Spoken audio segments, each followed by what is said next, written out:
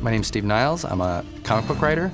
And aside from being able to write the Fear 3 video game, I was also asked to write a prequel in a comic form, which sort of serves as an intro to the game. Well, I was excited about the comic for a couple different reasons. One was because I always want to know what happened after the events of you know, the first game, what happened to Point Man, and why he's where he is when Fear 3 opens. The biggest difference between writing a video game and a comic is with a comic book, you have to pick your moments. And when I write the video game, I could just write Point Man runs through the door and shoots. In a comic, that's four panels. So it's just a very different way of writing. I have been trying to work with Stefano Raffaele for 10 years, so it was really exciting because he's a great comic artist and really good at horror in particular.